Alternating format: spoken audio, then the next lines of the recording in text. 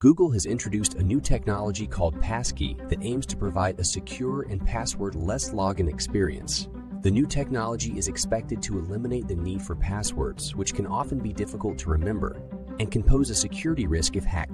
With Passkey, users can sign into their Google accounts using their phones, which will generate a unique digital signature that is encrypted and sent to the user's device. The Passkey technology is based on a cryptographic protocol called Threshold Signature, which allows users to log into their accounts without revealing any sensitive information, such as their private keys. The technology is designed to be more secure than traditional password based authentication methods and can be used across multiple devices, including desktops, laptops, and mobile phones. The Passkey technology is currently being tested in a limited release and is expected to be rolled out to more users in the coming months.